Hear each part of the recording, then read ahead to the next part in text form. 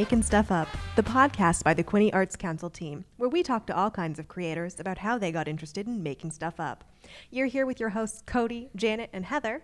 This week we're talking to Ash Murrell and Phil Barnes about their art forms of photography and CGI. Ash, Phil, welcome to the podcast. Thank, Thank you you. us. Can you please introduce yourselves a little bit? Uh, my name's Ash, and I'm a creative. I guess I could really classify myself at this point. Um, used to be traditionally just a photographer. Over COVID, I've kind of learned CGI as well as video work, and we've just been building out the potential for my company. Hi, I'm Phil Barnes. Um, I've worn a lot of hats over the years. Uh, most of it as a graphic designer. Got into web developing, software, and now I work with Ash doing videography and assisting on set. So, have you guys always considered yourselves artists? Or creators or creatives? Uh, kind of. I I never. I went to school for a industrial electrics. So actually, when I grew up and went through college, I was going through as a kind of a linesman or as an engineer to do electrical stuff. I'd always known that I wanted to do something that wasn't that, and knew that kind of photography would be the way to start doing that. I used to draw a lot and used to paint a lot, and then photography was the lazy version of that for me to start because it was instant, right? I could take a shot, take it to the, get it processed, and it would be done, and move on. So that was kind of how I started, yeah. But uh, as far as always being creative, it's just I don't know of any other way of living at this point. So even if I stopped doing photography or any other creative medium, I'd find something else that was uh, kind of creative in its purposes.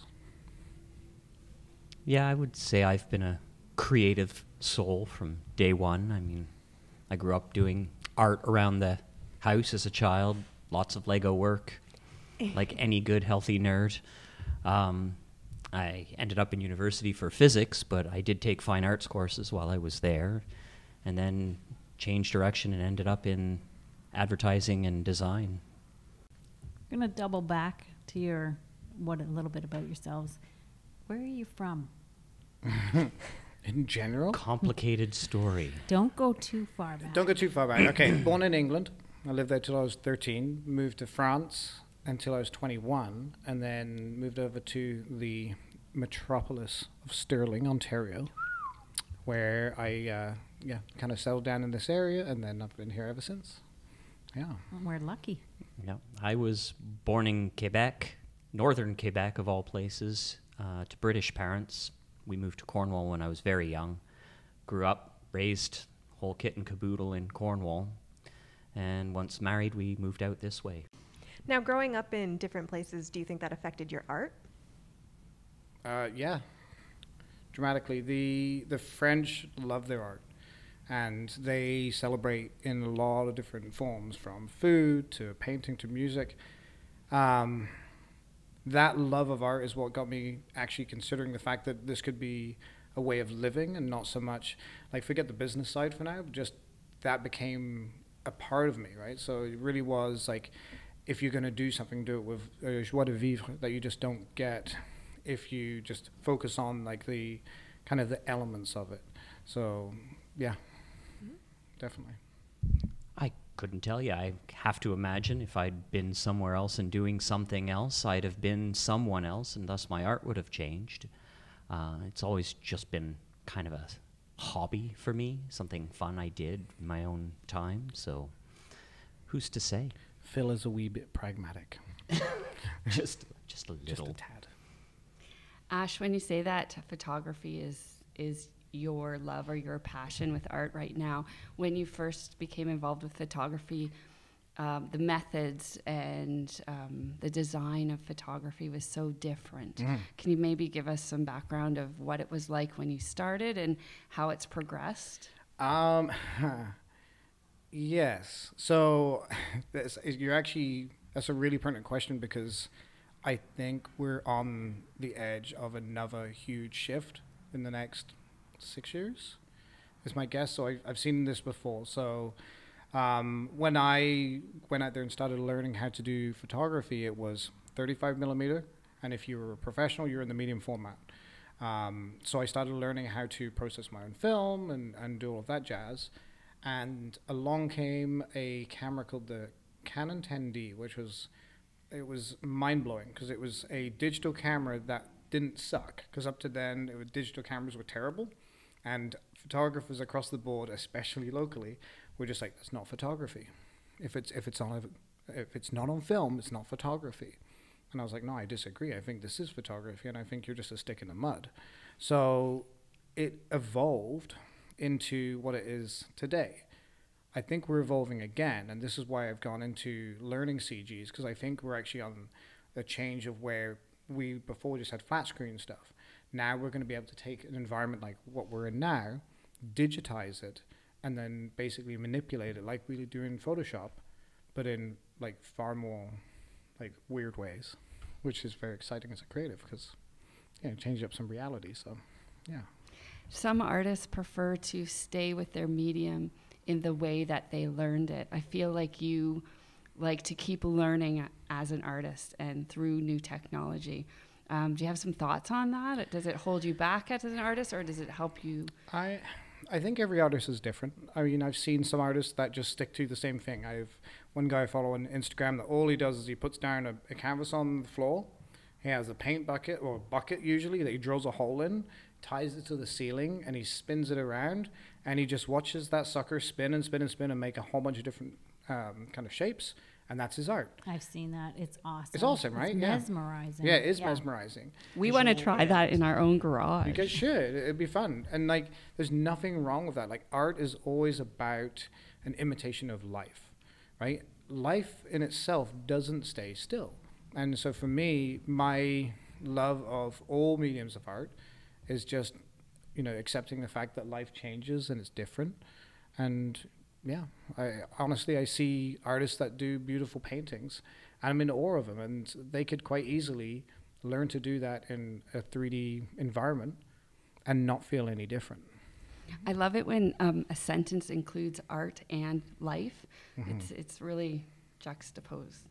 Um, family is a key dimension of everyone's life. Are you the only artist in your family, or do you take after someone? And is anyone following in your footsteps?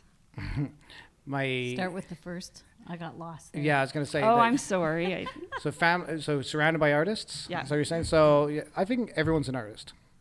Like I, I find it really hard because artist to me is a little bit of a catch-all, right? Like Phil's an artist in that he can pick up pretty much anything and make it into what he needs. So if I have a problem, I can literally go to Phil and say, "Okay, this is doing this, fix it." And he'll find a way to develop out a rig or some kind of technology that will kind of This is a very generous way of saying that I find things and use them for the wrong reason. exactly, yeah. And but that's an To a positive result, but yeah. Yeah.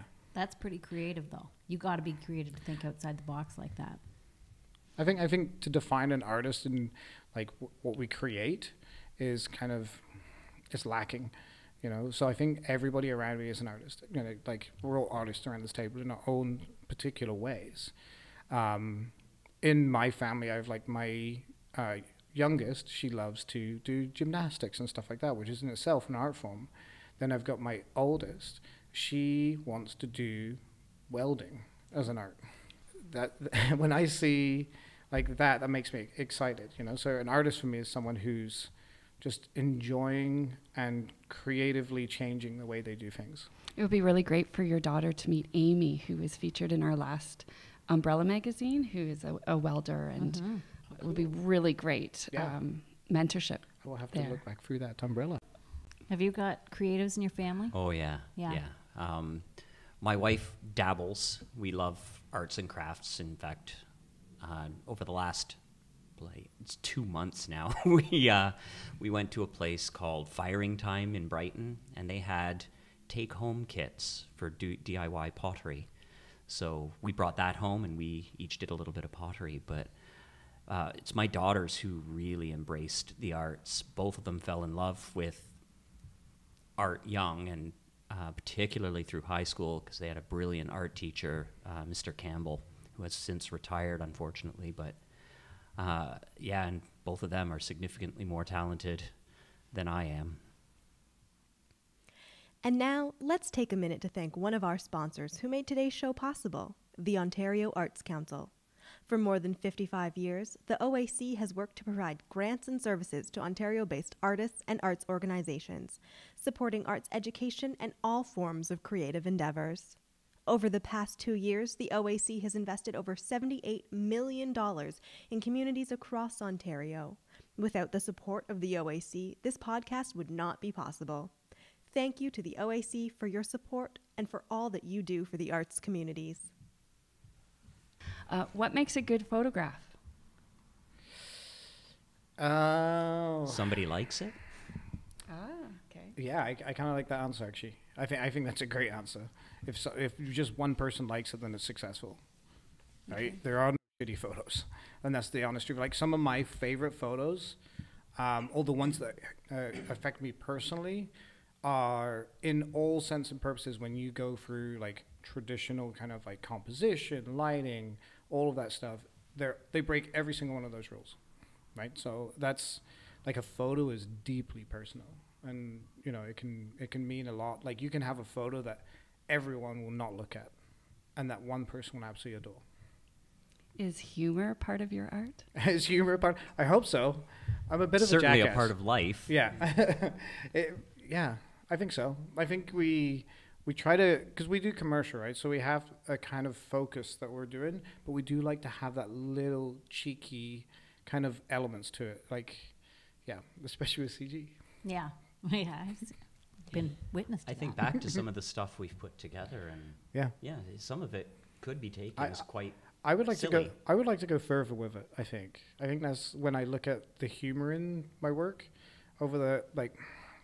So about, God, five years ago, so my mum passed away of cancer, and so a lot of my work reflected that darkness and that sadness, and also a bit more somber kind of look on life, and I feel like that your art will reflect your emotions and how you go through life currently. And so I feel like as I become more at peace with it and I start to re kind of like enjoy my humor, um, I feel like that is going to be more and more in my photos. You'll see over the next probably two or three years, you'll see humor become a lot bigger in, in, in the frame. When we can talk the clients into it. Yes. So, would you say you think art is healing then? Hmm.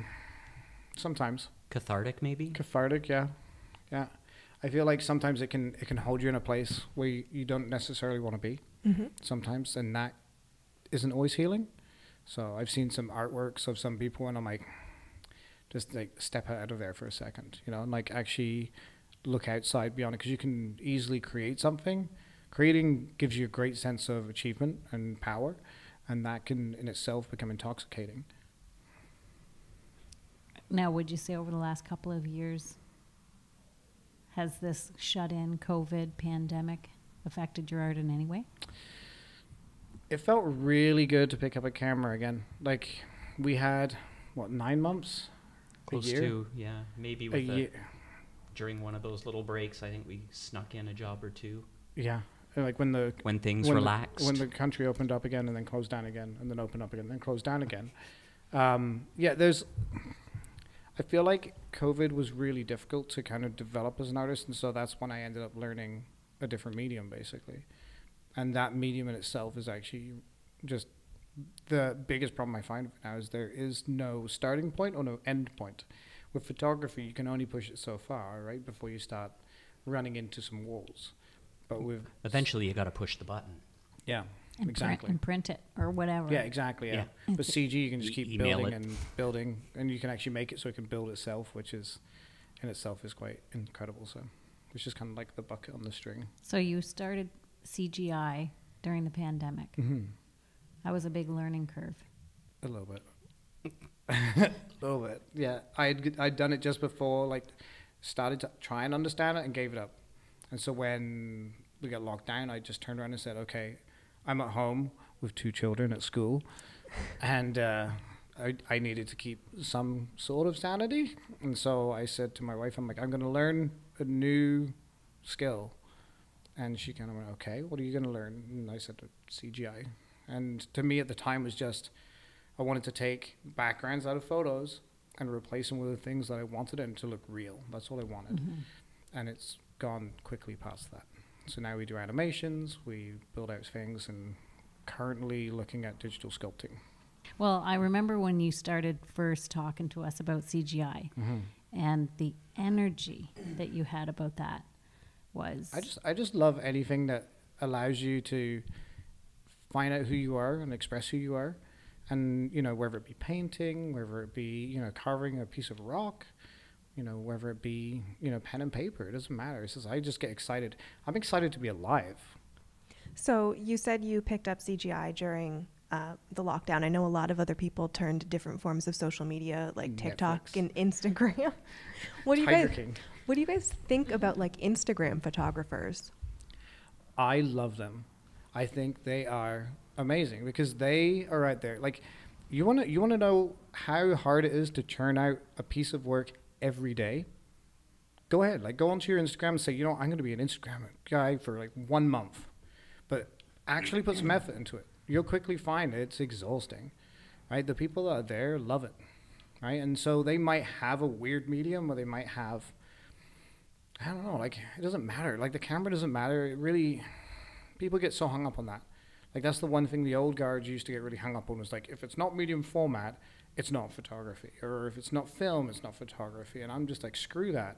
It's photography because everything between you and the lens is compromising that photo. Which is really difficult for people to hear because as soon as a photographer picks up the camera and puts it up against his eye, it's no longer reality because now the photographer can tell you his story from his angle. Real estate photography, like Yeah. you know, they tro- they talk about trying to have it as as pure as possible. I'm like, good luck. You know, if there's like an antennae sticking out the roof, like if we just remove that, it'd be look ten times better, and they do, and they get away with it. all I think all art forms do it. Yeah. Visual artists do it too. They Yep. take out that ugly mailbox. Yeah. All right. So, um, do you guys consider yourselves mentors? And if so, what way?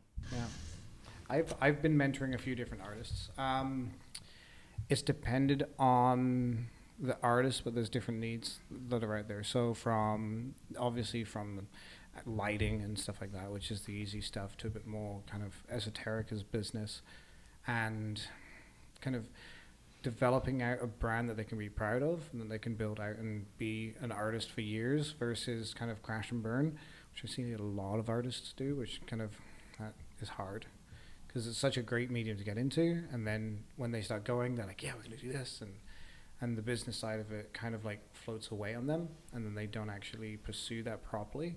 And then they get into trouble. The, uh, the starving artist is a thing, and Mhm. it shouldn't be, but it is.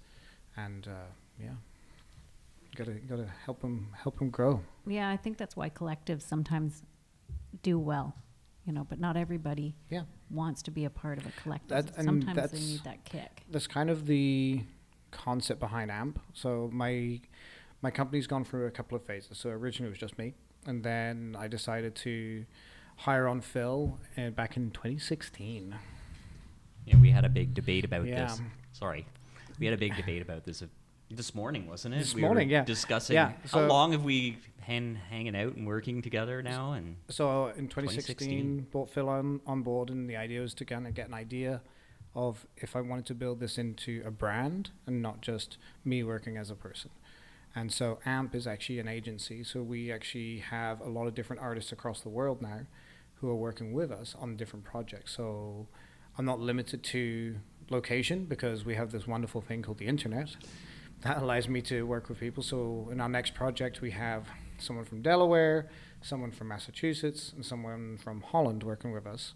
And yeah, it just it goes across the board now. So so that's the agency side of it. So and so yeah, we have to collaborate, and that makes sense. So All right. So, do you want to tell us about the three most influential people in your lives and how they impacted you? I think my mom was like, she was like my cheerleader of sorts because she was always like, you know, you can do this, you can do anything you put your mind to, and she ri- really gave me a solid sense of self, so that you know when I went out there and I was confronted with no's, I was like, yeah, they just don't care, and then kept on going. So that was just too stupid to notice, like you know, to be able to do it, right? So I just, I don't know, just th- that was the the first one that kind of really steps out to me. You know, there's my um, my mum's cousin. I don't know what the relationship to me would be, uh, but she actually told me that uh, I would be uh, a good artist and could actually do photography. And, and I was like 16 at the time, and so that's where the photography started from. Was just learning how to, you know, Mhm. kind of do photography on like an art form kind of manner to start. So, yeah, I can't really Phil? think of a third one. I mean, obviously, your parents are the most influential people in your life. They genetically and socially make you who you are.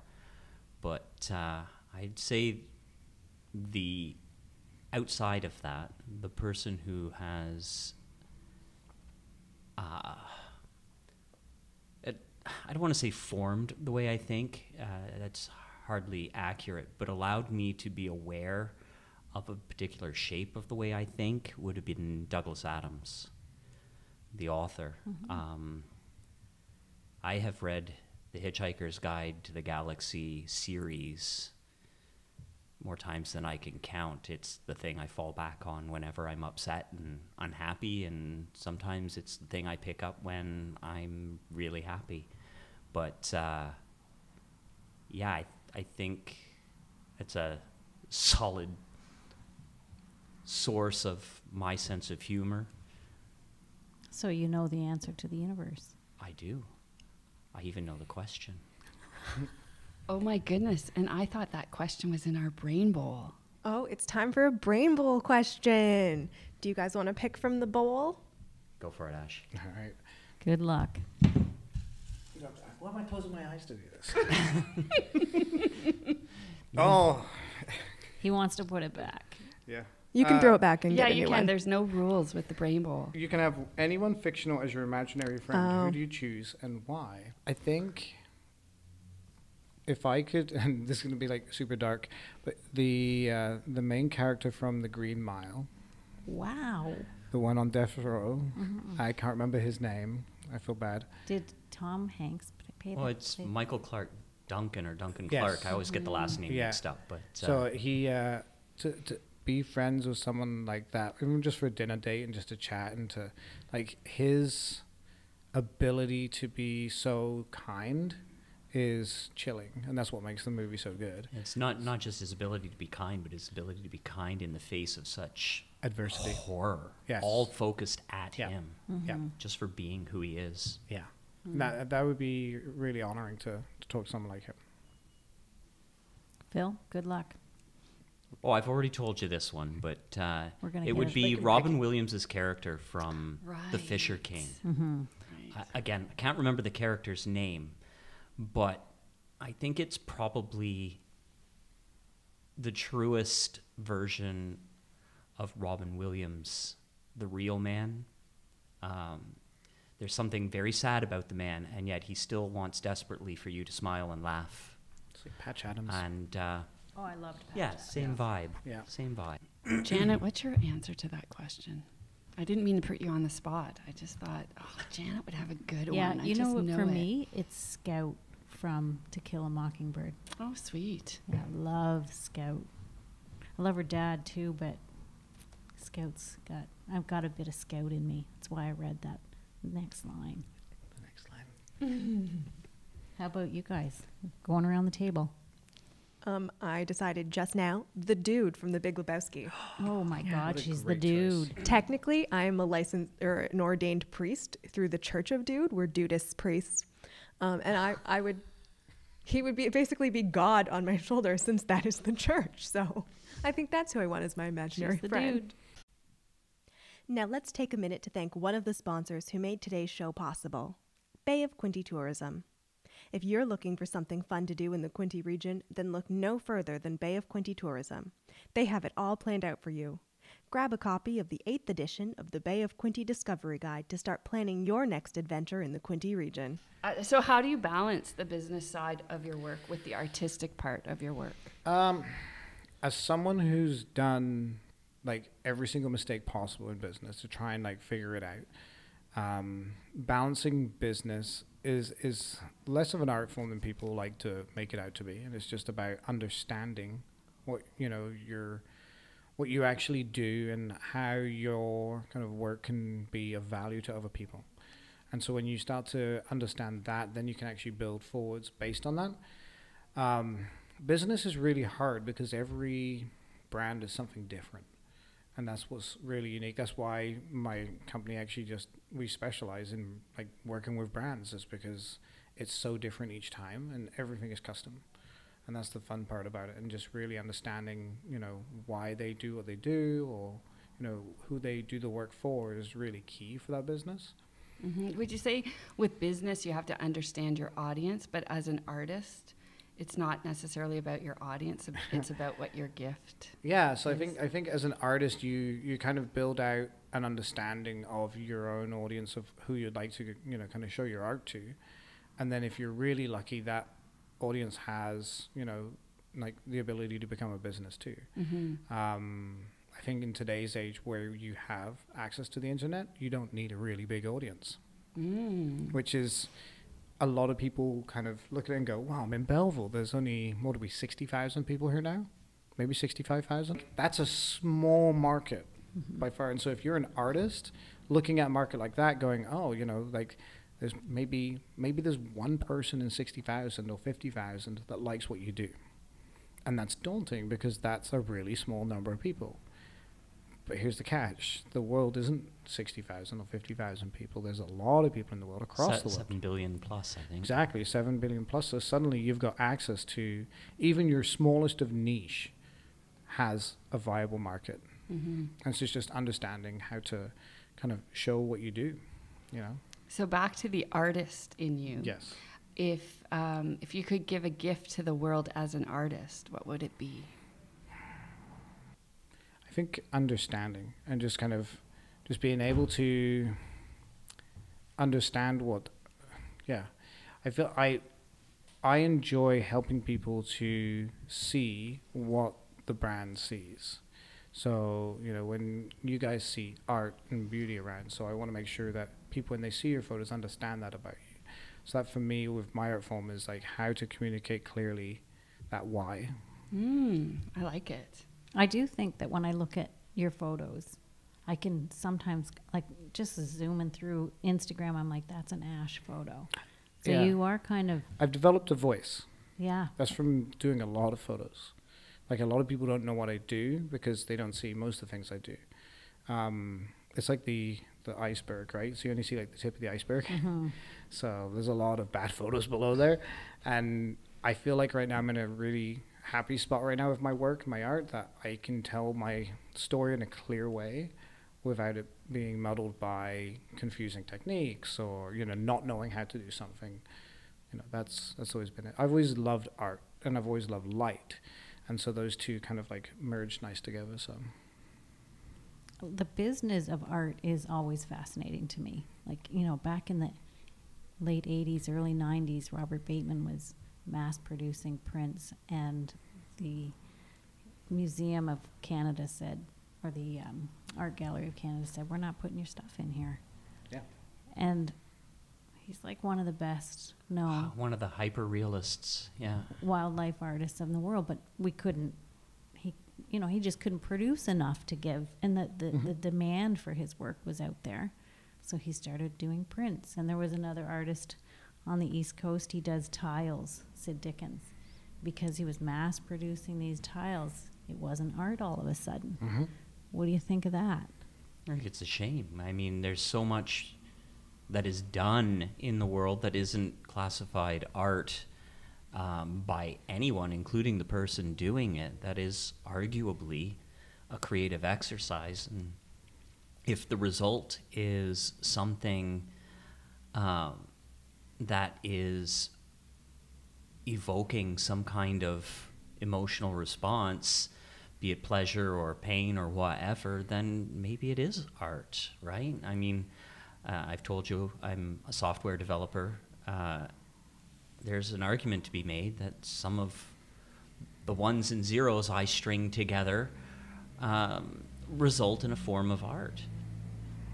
Managing data can be art it's not a particularly popular art form. I can't imagine too many people hang it on their walls, but I know there are hundreds and maybe even thousands. Man, I don't think our client base is that big yet, but who are looking at it, putting it to use, and using it as a communication tool to thousands of people, Yeah. tens of thousands of recipients of our text Mhm. messages. Well, I see that is there's a, I mean, there's the creative brain, there's the analytical brain, and sometimes there's people who are close in the middle. Yeah. I, I, I'm not sure how much difference there is between the two. I think it's just the angle you approach the end result, right? If you're, you could argue that Robert Bateman, for instance, was denied access to uh, our large Canadian museums because it's not art because he was too analytical. His paintings were photographs. Mhm. And as far as many were concerned, it's not art because it's just mechanical reproductions. Uh, never mind the amount of skill or the thrill or the joy the man took in dropping each little microscopic bead of paint on that painting. Uh, there's lots of artists on the internet now using technology to create their creations CNC routers and laser engravers and Even as far as NFTs. yeah Let's talk I about mean, those while here. Can you help our help our audience out and um, tell us what's an NFT? NFTs was a non-fungible token. So think of it this way: it's a piece of technology. Okay, it's a smart contract. So it's an agreement between, say, you and I. Okay, so I have a. Like that, is that- Now, don't do that. so I have this table, bowl, the this table. bowl in front of me with a whole bunch of paper in it. Okay, and so I make a rendering of this or a photograph of this, and I put it onto the blockchain. Okay, so in order to authenticate it, right, you have to actually kind of encode it onto the blockchain. I sell you that piece of code, right? So it's like a receipt. So now you have that receipt for the bowl and the lovely noises that it makes. Okay, that's that's exactly what an NFT is. So it's a receipt for saying that you have purchased my art. Now the nice thing about NFTs, and we're going to hear more and more about these in the near future, is uh, they are traceable. So if you go and sell that bowl picture to you know either of these guys, right, and you make some money on it, I can code into that that I get ten percent of the sale. Oh wow! So it's So now, That's pays forward. so now it's starting to get interesting, Yes, right? Yes, it is. Ah. So now arguably a pyramid Janet. so now Janet turns around and she knows Billy Bob in Texas who loves bowls, and she sells that bowl picture that was originally sold for fifty bucks, right, and then purchased for seventy five bucks. She now sells it for seventy five thousand, right. So that's the magic behind NFTs is there is a constant handshake between the people who have owned it and the people who have created it. It makes me feel like there's a similarity between music copyright and NFTs for visual art. I Am think I we're on going the to right see. train? I think we're going to see music go onto NFTs. So if you want to listen to a new song from an artist, you can download it. But that is like taking a copy of the NFT. So the original it will basically be a copy of the original NFT. Mhm. Whoever owns that original NFT will be getting all the royalties. So NFTs are a technology, and a lot of people try to pass them off as like pictures on the internet. You hear people say, "Well, you can just right click and save," right? But you don't own that photo, Mhm. right? So and so for people like us, in the near future, we're probably going to switch to that. So when we sell you a photo, for example, you have the receipt, so you own that copy of that photo. That is yours now. Hmm. And this is why copyright lawyers are hating this stuff. Oh, I love it. Yeah. Because, you know, jeez. Yeah. Maud Lewis sold her stuff for five cents. It now goes for 40000 Exactly. And she doesn't get a But penny of it. getting the forty thousand? Like for my company, we keep it very simple. So if you purchase the photo, you get to use it in the manners that you need as long as you're not reselling it. Uh, we keep it really clean and simple because that's what I believe in. My, my core values are simplify it. If it's too difficult, simplify it. Yeah. So But if it came to the point where someone's trying to resell your Yeah. photos of, this would just eliminate that because I could say to you, sell it if you want, go for it. But yeah, you'll, I'll, I'll you'll profit get from the, it still, Yep. right? So I won't And have to worry about should that. Be.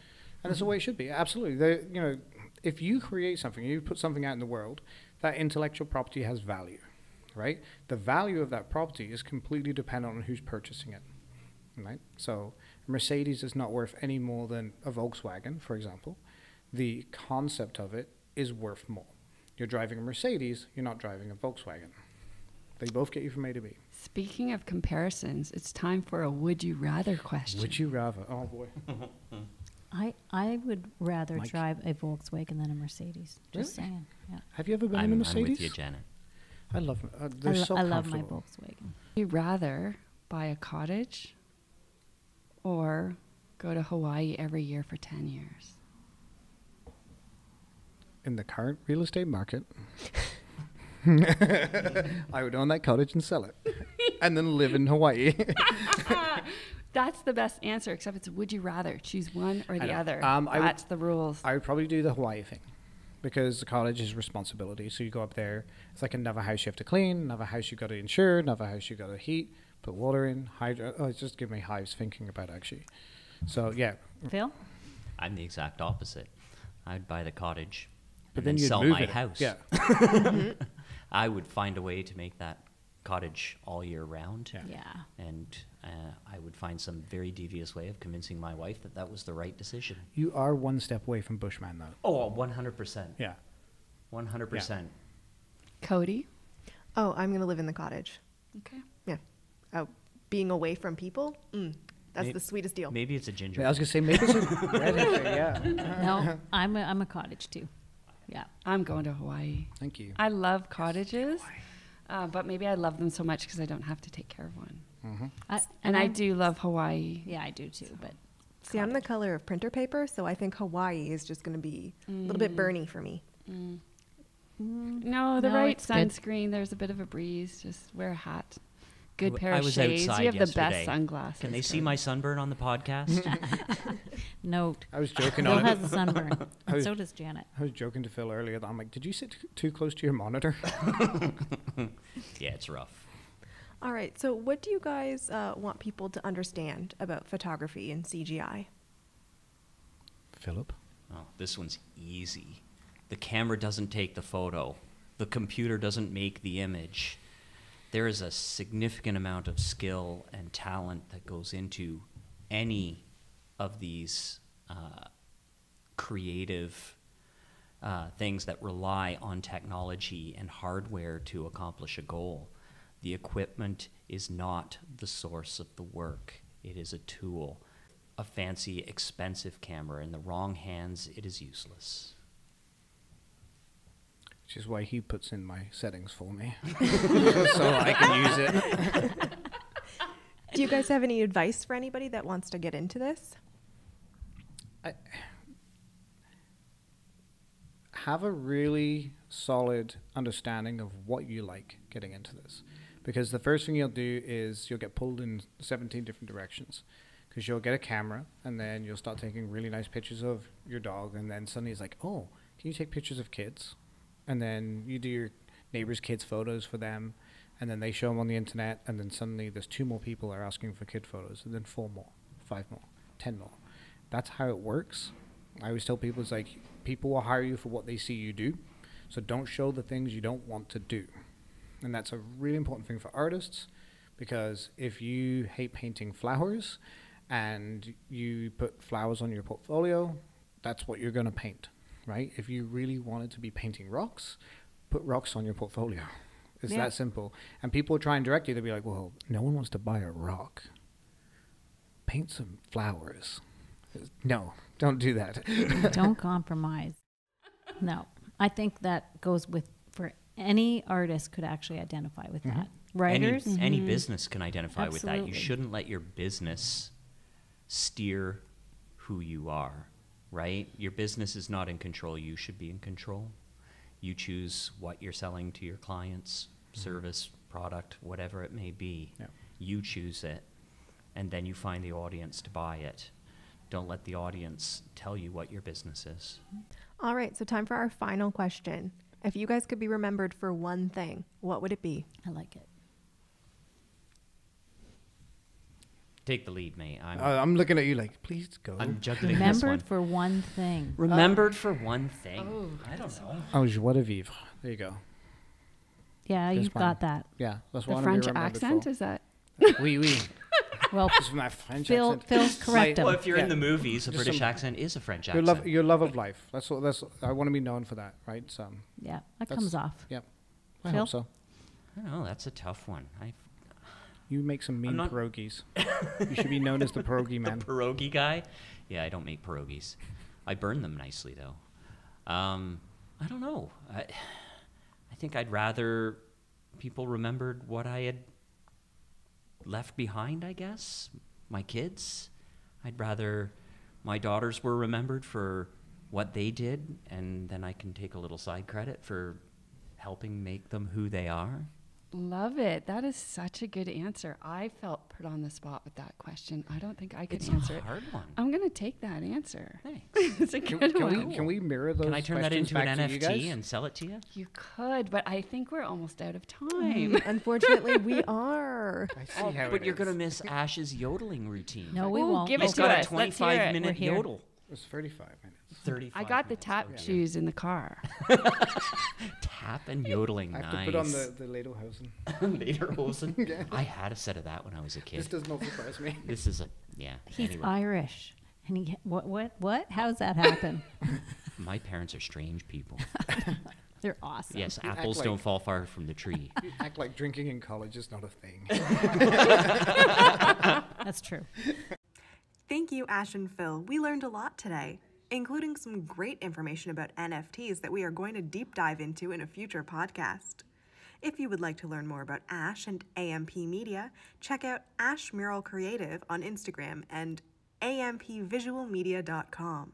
Thank you for listening today. I'm your Potterator Kodie signing off and telling you to always be making stuff up.